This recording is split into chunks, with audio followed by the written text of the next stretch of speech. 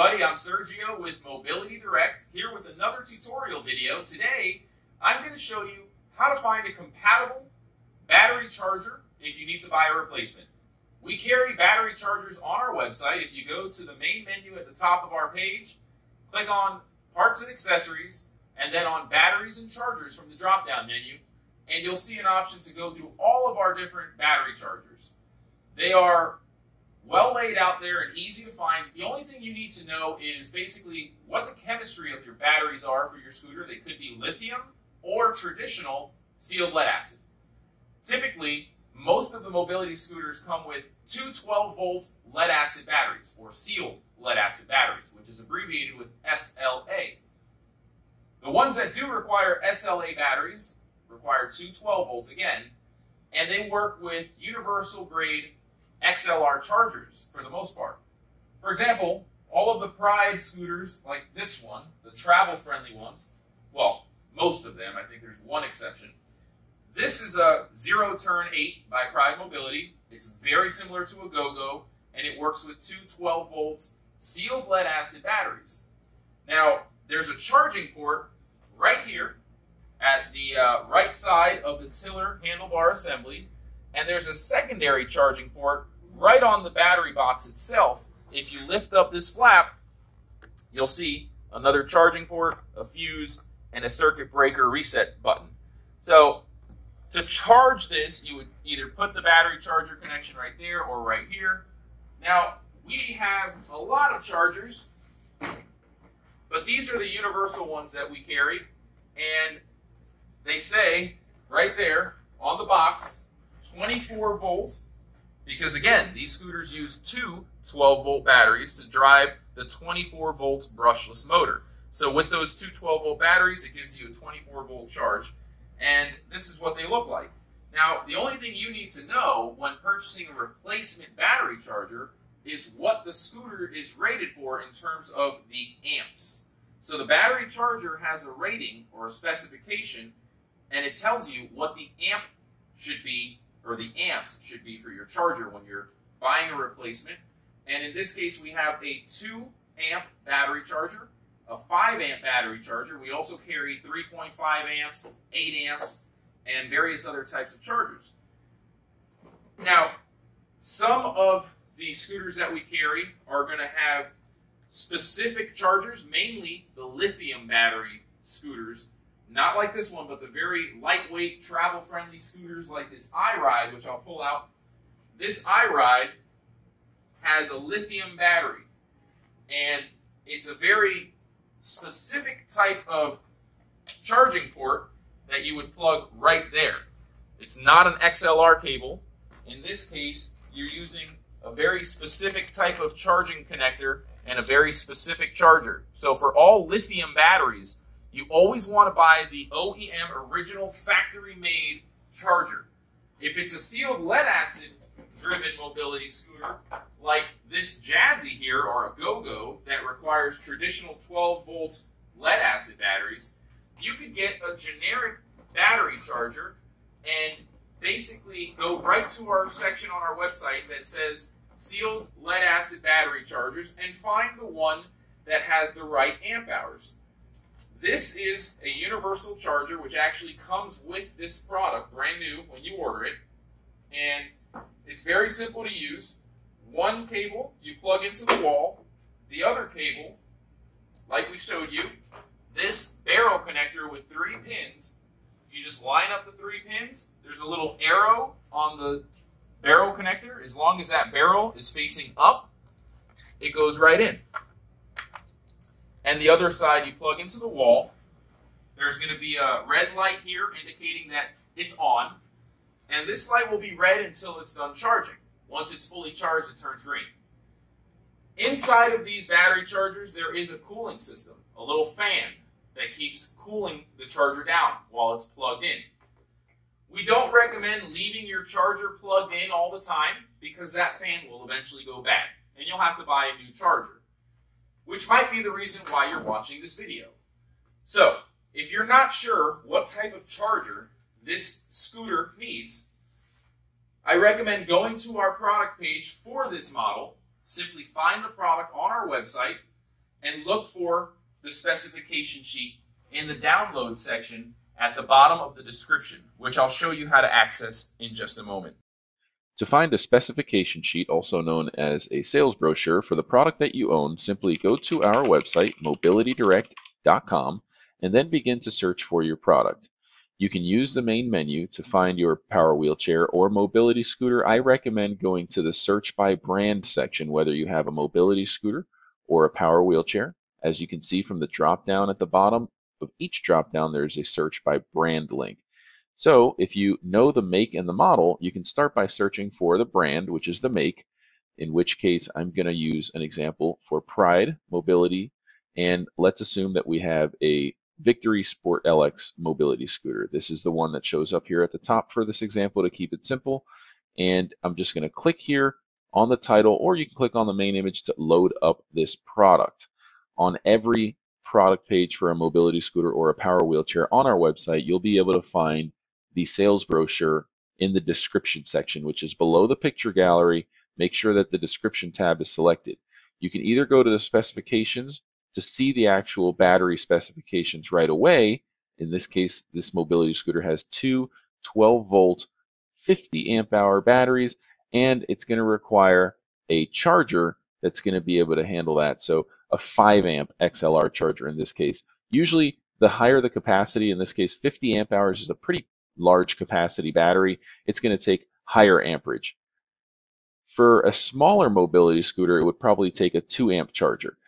But if we go back to the description, instead of specifications, as mentioned earlier, at the very bottom of the description, there's always going to be links to download resourceful documents such as the product brochure. So here you can see it says click here to download the Pride Victory LX scooter product brochure.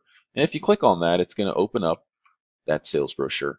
You can print this and keep it handy. It has all the important specifications about your product, including what type of battery charger is required.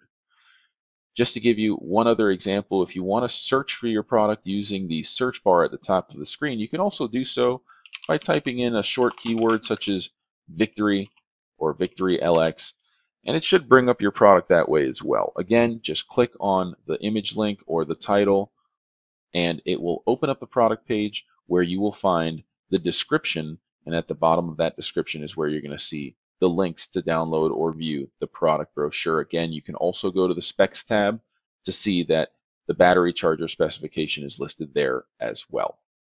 Once you have this printout available, you can go to the battery charger section and see that it requires an off-board 3.5 amp battery charger.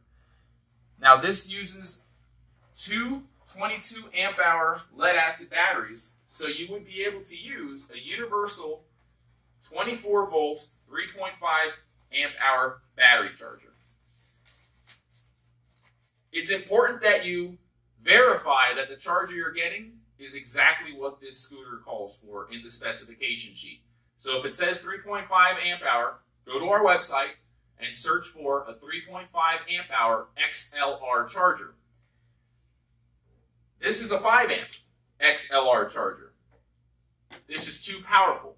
If you plug this charger into this scooter, it could damage the batteries.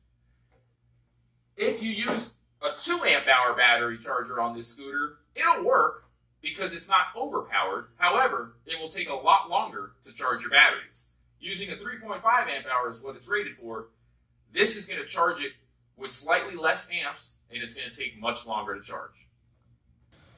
All right, now that we know how to get a suitable replacement charger for a universal type of setup like the Go-Go's that come with these universal chargers, I want to explain that you can also buy the OEM charger for certain models which are a little bit higher quality. For example, this one here is for an Afikim mobility scooter, which is a top of the line outdoor recreational mobility scooter that goes on all kinds of terrain. This battery charger has a couple of different lights on it, which if you zoom in here, you can see it actually will light up showing you that the battery is 30% charged, 50% charged, 70, 85, and 100% charged. So it's a pretty nice little readout here. It's a little bit fancier, really nice cooling system on it. It has vents everywhere to cool it down. This is a really high quality charger compared to universal.